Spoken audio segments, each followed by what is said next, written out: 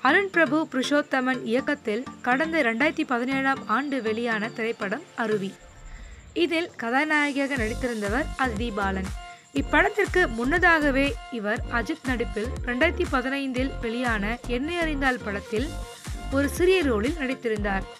இருப்பினும் அருவி படத்தில் தனது அற்புதமான நடிப்பால் அதிதி பாலன் ஒட்டுமொத்த ரசிகர்களின் கவனத்தையும் தன் பக்கம் ஈர்த்தார்.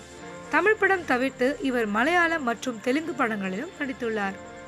இப்படம் சிறந்த இயக்குனர் சிறந்த படம் சிறந்த நடிகை என பல்வேறு பிரிவுகளில் Ananda Vikatan cinema awards Edison awards Filmfare awards South Norway Tamil film festival awards மற்றும் விஜய் அவார்ட்ஸ் உள்பட பல விருதுகளை பெற்றிருந்தது குறிப்பிடத்தக்கது.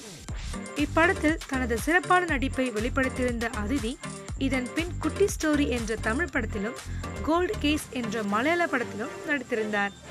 மேலும் சமீபத்தில் ஓடிடி தளத்தில் வெளியான நவரசா படத்திலும் அதிதி பாலன் நடித்திருந்தார்.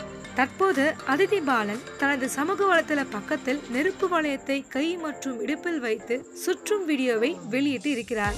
இந்த வீடியோவை பார்த்த ரசிகர்கள் அதிதி பாலனின் திறமையை பாராட்டி வருகிறார்கள். இந்த வீடியோ தற்போது இணையதளத்தில் வைரலாகி வருகிறது. இந்த வீடியோ உங்களுக்கு பிடிச்சிருந்தா லைக் பண்ணுங்க ஷேர் பண்ணுங்க கமெண்ட் பண்ணுங்க. எங்க சேனலை மறக்காம சப்ஸ்கிரைப் பண்ணுங்க.